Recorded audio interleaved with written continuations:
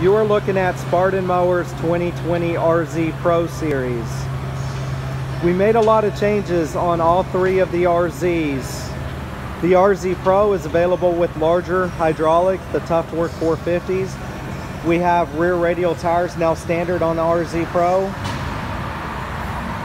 We had an 11 gauge deck reinforced with 7 gauge. Now we have a one piece 7 gauge deck that's 5 inches deep. Very, very, very strong deck you have a step right here. We move the anti-scalping wheel in about an inch and a half to allow more room for, for cutting, especially if you trim against a chain link fence. You don't have to worry about the anti-scalping wheel hit it. We still use our solid wheels with all Spartan mowers. We also have a new pulley cover it's a very strong pulley cover with a pass-through, so if grass gets in it, you simply can blow it out with having, without having to remove the pulley cover.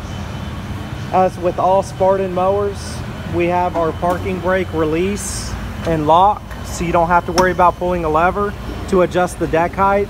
You simply press this, then with the base RZ and RZ Pro, you remove a pin. With RZ HD and above, you simply twist the dial.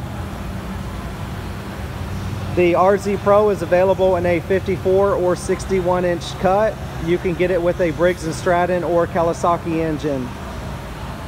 Five gallon fuel capacity, very nice seat. That's adjustable front and back. All Spartan mowers have a keypad rather than having a universal key.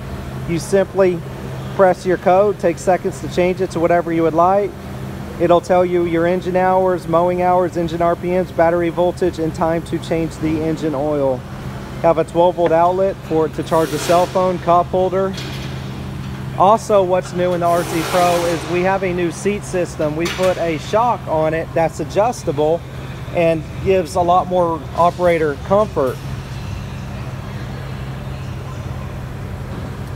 Going back to the deck, we've completely redesigned the baffling system of all Spartan mowers deck from the base RZ all the way up to the SRT XD. We've enclosed the area that allows for more suction. It's similar to what we've had in 2019 called the Turbo Baffling Kit. We've been testing that for a long time and, and uh, had great success with it and we're proud to announce this change for 2020. Thank y'all very much.